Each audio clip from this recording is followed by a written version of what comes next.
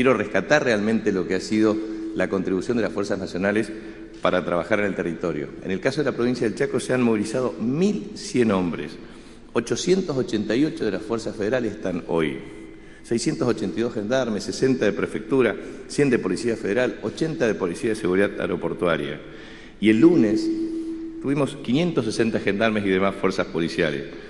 El día martes también arribaron 260 gendarmes, con más de 100 camionetas, camiones, autos. Es decir, hemos hecho lo humanamente posible. Y me consta eh, que han hecho lo humanamente posible cada uno de los miembros de las fuerzas de seguridad para atender las demandas.